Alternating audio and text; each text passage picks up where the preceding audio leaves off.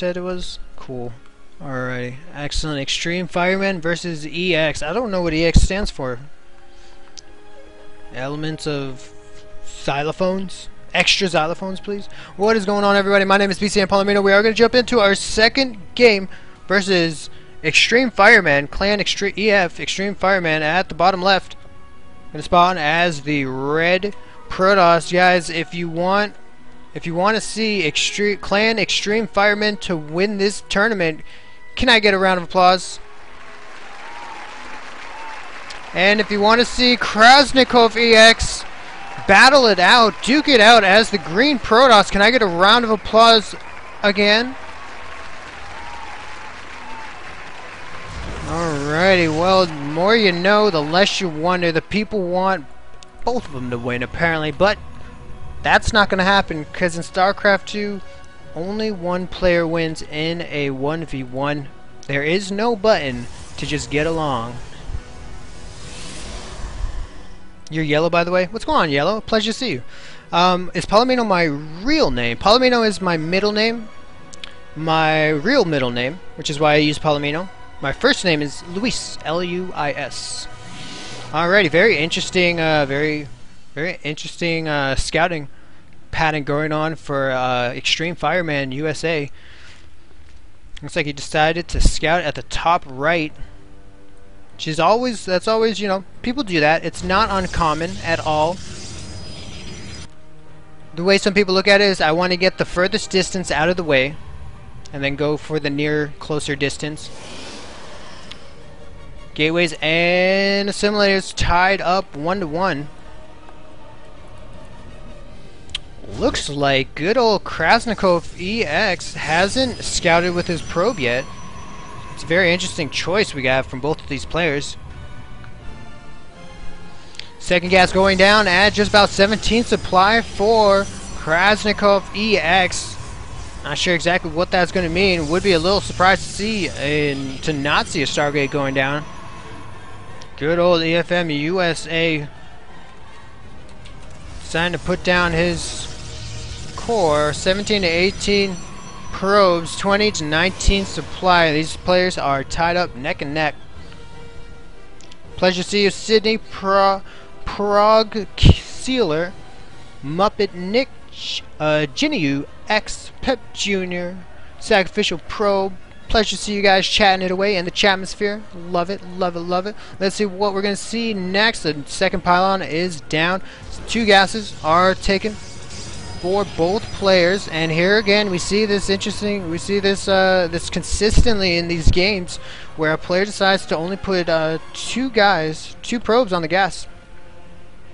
Let's see if we have two probes on any of these gases. We do not. Three probes on those gases. Let's uh, Look at the mineral intake. We are at 620, 6... See if it makes... You can see a slight differentiation as good old EFM USA is getting a little bit more gas, while good old Karishnikov, you would imagine, is getting a little more money. So it is a, it is a trade-off, as both these players aren't saturated on one base yet. It is actually a trade-off. Now we do have the Stargate going down. Little pylon here, very interesting. Krishnikov might be a little worried about a four gate coming towards him.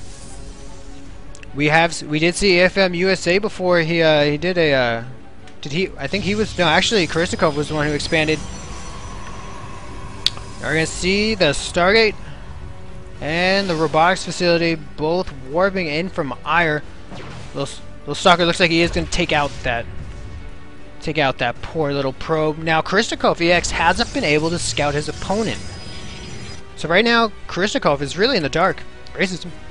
And he's, uh, and he's got to, he's got to kind of, and he's going to depend on this Phoenix to go ahead and give him all the information he wants. And he is going to be able to get all the information he wants. Scary little stalker right here. Not sure what he was up to. Just checking out, making sure there's no expansion, no units getting ready for an expansion. But with one, with two stalkers and one sentry out on the field, there's no way that uh, EFM USA can deny the Phoenix Scout. Looks like this pro almost wanted to put down a Nexus and has decided to officially put down the Nexus. That is a 6 minute and 40 second Nexus off of two gates and a robo that is just about to warp in as another stalker warps in. We're now at we are now at 41 supply at just about seven minutes into the game, and also almost identical timing is the is the nexus for good old Karistnikov. So it looks like we might we might turn in we might see a. Uh, we might end up seeing a macro game from these two for game number two in this best of five. First player to three wins will take the gold. Full scout going down. Observer popping out to get his own scout in. Karistnikov does not have an observer him for himself quite yet. I don't believe so. No observer in his army yet, so this observer is going to be free to uh, to roam the base. EFM USA saying always, always with the Phoenix. Really? You like Phoenix, huh? Looks like we are going to get one probe, one probe down, two probes down, three probe down, four probes are down for the for the merry price of about 30 hit points on one Phoenix as their uh, as their energy will go ahead and get healed back up momentarily. Looks like this uh, observer just popped and is going to go ahead and take care of EFM USA's only observer. Always a pain in the butt, which will tie up this uh, this robo if he wants to make another one. No immortal for you, or at least it will be delayed a little bit. Alright, the expansion is up, four gates and one robotics facility. Chrono Boost is going down on the probes as these Phoenix are making sure that good old EFM USA doesn't have these he doesn't have these uh these towers. And also he doesn't he also he's gonna be able to use these Phoenixes to take out some more probes and make sure that no proxy pylons or probes are gonna go unspotted. Taking out two more probes for the price of about 70, 80, 90, 20 more hit points Looking good, looking good. These these uh, Phoenixes are being extremely cost effective. Big pack of stalkers hanging out at the natural. Four stalkers now hanging out in the main. That should be more than enough to go ahead and uh, defend these guys. Alright, let's see. Some more hit points going down, but right now Karistnikov is able to also uh, to also scout his opponent here. Almost losing a Phoenix though. No uh, no Twilight to speak of right now. Good old Karistnikov getting his macro on here. Looks like we are going to see one more gate. To turn this into a three gate, and now the Colossus tech is going down. He's seen his army's his opponent's composition, which is Stalkers. However, he does know the Stalkers don't have Blink, I would think, because he hasn't seen the Twilight anywhere. And uh, I think I think he just wants to get a leg up on the Colossus battle, perhaps. Phoenix is being very annoying here. I want to look at this probe count in any minute now. Ooh, wow, those phoenixes really take out those take out those probes so fast. Still not losing a single phoenix and taking out some probes. We're at 35 to 40. Now, Karistnikov has taken out more than five probes. He's taken out six, seven, eight, nine. He's taken out at least ten probes, but we do see that uh, EFM USA is using his Chrono Boost on his probes and is staying pretty darn close in the worker count here. And one soccer is going to go down at the price of a Phoenix Immortal on his way. However, right now, Karistnikov is going to have a large lead in the Colossus battle. Second robotics facility is now going up, and the saturation for both players is looking mighty, mighty fine. However, very interesting. EFM USA opting not to take his gases yet. We'll allow him to put in more gateways if he wants to. And there is the Twilight, actually. Twilight is here. Blink is on the way. Um, I think EFM USA is seeing the same amount of Phoenixes.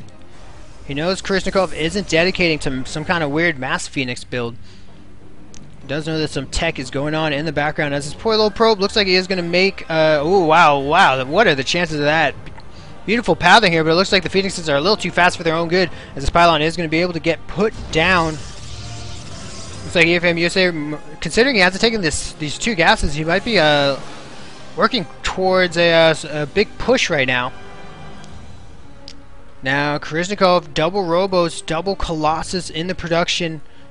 As we do see on the mini-map, EFM USA moving out towards his opponent. One proxy pylon is down, the second one is down, and the third one is on its way. These Phoenixes scouting. Ooh, and a boot.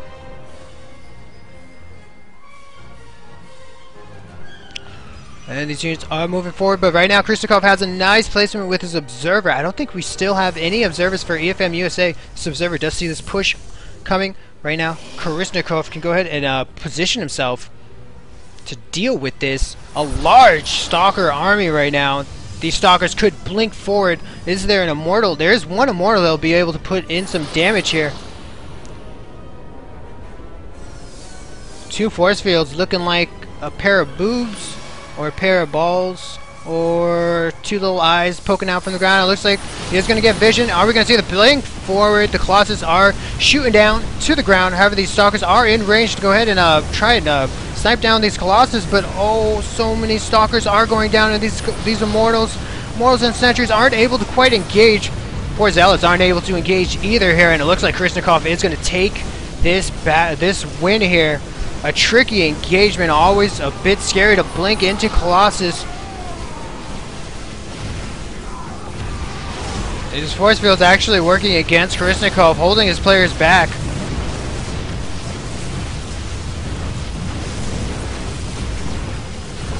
Uh, it does look like the Phoenix Count is looking still healthy. One, Colossus is able to tell the story. His three other, his two little brothers, unable to do the same. That is going to be the second game.